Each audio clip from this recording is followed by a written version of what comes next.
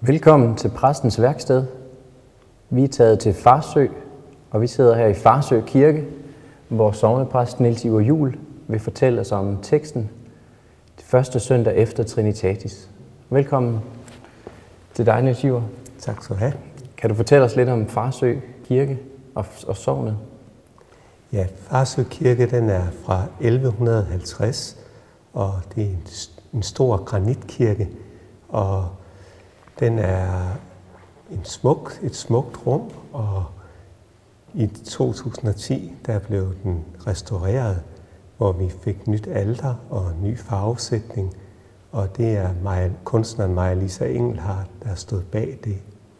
Altertavlen, som vi har her bag os, det er et opstandelses- og et himmelfartsmotiv, hvor Jesus står og på bjerget, og han taler til disciplene, og meningen med det, det er, at Jesus står her i vores hverdag, nærværende, og derfor har Maja Lisa Engelhardt malet et himmerlandsk landskab, siger hun, bag ved Jesus, fordi det skal vise, at han står i vores hverdag.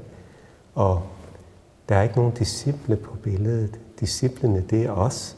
Når vi kommer til alder, så står omkring alderskranken. Så er det os, der sendes ud i verden med evangeliet. Og det er også det, som den inskription, øh, der er under billedet, afspejler, nemlig, I skal være mine vidner. Bag på billedet, der er der et langfredagsbillede, som, hvor tornekransen ligger i det ene hjørne, og Jesus er blevet lagt i graven. Lindeklædet ligger på jorden, og det er mørkt. Men det er ikke et billede uden håb, fordi lyset kommer ind og i det ene hjørne. Sidefløjene her, de skal illustrere Helligåndens vinger, siger hun. Helligånden, som omfavner os og skaber varme og glæde i vores liv. Har menigheden taget godt imod den nye altertavle og, og udsmykning? Ja, det er klart, at dengang vi begyndte at snakke om, at vi vil ændre Farsø Kirke så meget, som vi ville i forbindelse med restaureringen, der var der stor skepsis og nervøsitet. For hvad var det nu, menighedsrådet var i gang med, og hvad ville det her ende med? Men da menigheden så altertavlen og så farvesætningen i kirken, så tog de det til sig i løbet af kort tid. Der var selvfølgelig en del, der lige skulle vende sig til det, men vi har næsten kun fået positive kommentarer. Og der kommer også mange udefra for at se udsmykningen. Ja, ja der, der, kommer en, der kommer besøgende, mange besøgende hver uge, som kommer for, netop fordi det er et Maja Lisa Engelhardt værk, som de gerne vil se, som har hørt om kirken og læst om den, og der er nogen, der kommer langvejs fra. Vi har også en del grupper med, der kommer i bus dertil, for at skal have en rundvisning og fortælles om det.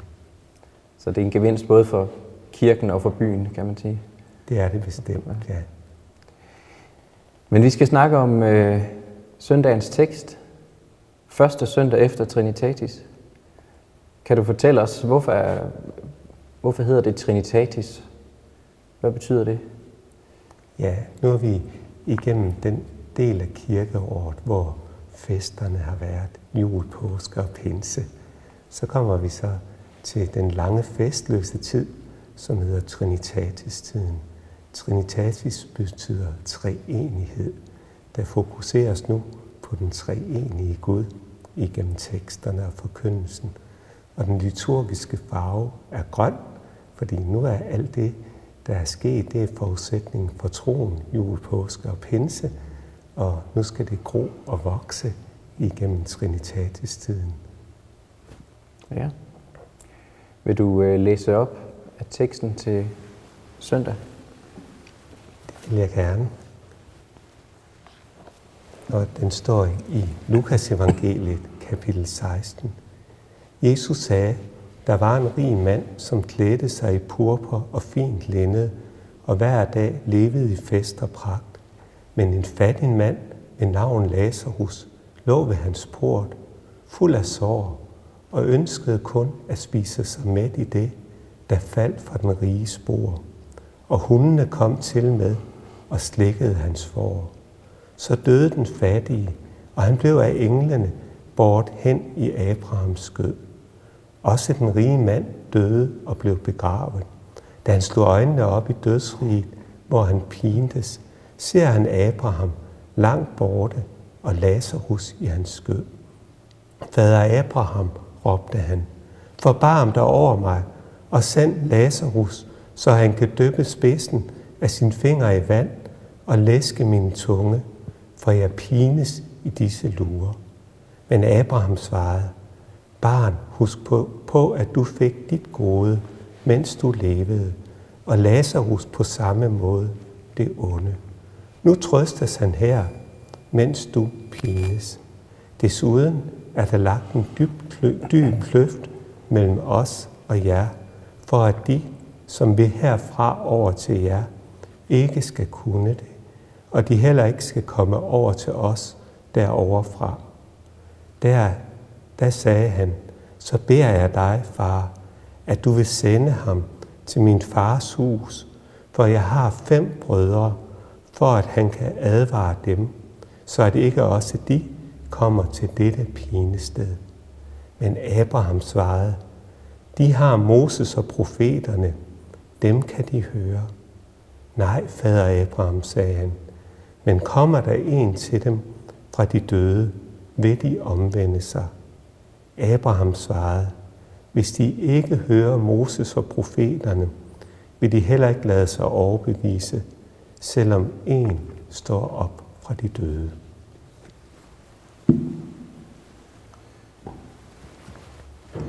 Ja, umiddelbart virker det som en barsk tekst med Lazarus der i dødsriget og den rige mand. Er der en sammenhæng mellem det, vi gør i livet og det, vi får i evigheden, i det evige liv? Ja, altså, umiddelbart, jeg vil give dig ret i, at det er en umiddelbart en barsk tekst, og det er nok også en af dem, som præstestanden frygter lidt at skulle prædike over hvert andet år, når den kommer på, og er lidt lettet, hvis der øh, er en frisøndag den dag. Men teksten, det er jo egentlig dybest set en tekst om Guds kærlighed. En tekst om den kærlige Gud, der griber ind og vil frelse sit menneske. Det er klart, at teksten siger også, der er en sammenhæng mellem det her liv nu og evigheden. Og umiddelbart så kan man tænke, at et menneske, der er rigt, det har ikke nogen muligheder. Det har valgt fortabelsen og valgt pengene i stedet for. Men der er det jo så lidt spændende at se på, hvad det er for en person, som øh, den fattige mand kommer over til, nemlig fader Abraham. Ja. Abraham, når vi går tilbage i det gamle testamente, så var han en rig mand. Han havde masser af får og geder og var en stor beduin høvding. Og derfor så kan man ikke sige umiddelbart, at et rigt menneske ikke har plads i Guds rige. Umiddelbart kunne man godt tolke lignelsen sådan, men den holder ikke, når man ser, at fader Abraham optræder her. Så de rige og de fattige, de behandles på samme vis? Ja, det gør de. Man kan, ikke, man kan ikke sige, at dem, der har et godt liv her, de vil få et dårligt liv i evigheden, og det modsatte. Det er ikke uh, ud fra sådan nogle regler, det afgøres i Guds rige, siger lignelsen også her. Og vi skal huske, at den her lignelse, det er et billede, som Jesus maler for os, som den kunstner han er. Og det er ikke et billede, hvor vi skal udlægge en, alle detaljer ned igennem lignelsen. Det, det er slet ikke meningen, og det kan den heller ikke bære, men det er essensen, vi skal trække ud af den. Sådan er det vel med mange af de lignelser, Jesus fortæller, at man ikke nødvendigvis skal opholde sig ved hver eneste detalje, men se på det overordnede billede. Ja, det er pædagogiske billeder, han maler for os, for at vi skal kunne forstå det, for at skabe kontakt imellem det, vi hører, og de billeder, vi danner inde på nethinden og i vores fantasi og i vores tanker. Ja, sådan har det nok ikke altid været. Tror du ikke, folk var mere tilbøjelige førhen til at opfatte det bogstaveligt? For eksempel om den rige mand og den fattige? Jo, det har helt sikkert været øh, nogen, der har opfattet det bogstaveligt. Og man kan måske også sige, at hvis man går tilbage i middelalderen med middelalderens tækkermunke, som isolerede sig i et fattigt liv og gik rundt i byen og tækkede og var øh, så fattige som nogen, gjorde sig selv så fattige, som nogen kunne være det. Det var måske også en misforstået opfattelse af den her lignelse, fordi man tog det bogstaveligt. Men det er ikke det, den handler om. Det, den handler om, det er, at hvordan vi får et rigt liv, både nu og i evigheden. Og den rige mands problem, det var ikke, at han var rig. Det er en Guds gave, at et menneske kan blive rig, og vi har jo også fået et ansvar her i verden til at forvalte de gaver, som vi hver især har fået på den bedst mulige måde og til gavn for vores medmennesker. Det, der var sket med den rige mand, og det, der var hans problem, det var, at det var pengene, der var blevet hans Gud, i stedet for den evige almægtige Gud. Det var pengene, der var det, alt var centreret omkring. Og det viste sig på en bestemt måde. Og det var jo, at hver eneste dag, når han kom hjem til sit hus, så overså han den fattige mand, der sad i hans dør. Ja. Han gik forbi ham, og den fattige Lazarus, det var netop Guds kald til ham om at vise barmhjertighed. Det var hans næste. Ja, ja, at han skulle se sin næste og, og være Guds øh, hænder i forhold til ham. Så der ligger også en forpligtelse til os om at se det menneske, der er tæt på. Ja. Se vores næste. Ja, det gør der bestemt. Der ligger en forpligtelse i det her, og der ligger også en, øh, man kan sige, øh, en udfordring i det her, fordi at vores forhold til Gud, det vil vise sig i vores forhold til vores næste. Og hvis vi har det ligesom den rige mand, og det har vi jo desværre nok i perioder, fordi øh, sådan vil det jo være. Vi er, der er ingen af os, der er perfekte. Og der er også perioder, hvor der er ting i vores liv, der overtager Guds plads. Og det vil vise sig i vores forhold til vores næste.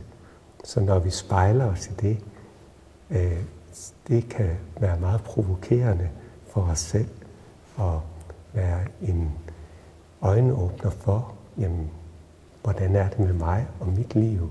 Hvad er det, der betyder noget for mig? Hvor er Gud henne for mig? Og hvad er det i det hele taget for en Gud, som jeg tror på? Så man kan ikke komme tættere på Gud, hverken ved at være meget fattig eller ved at være meget rig? Nej, det kan man ikke. Man kan kun komme tættere på Gud på den måde, som der også sluttes af med i lignelsen, at vi har fået Guds ord, som vi kan lytte til, som vi kan høre på kønt i kirken. Vi kan komme tæt på Gud ved at gå til alders og modtage sakramentet, ved at bede til ham og på den måde blive åben over for hans gaver.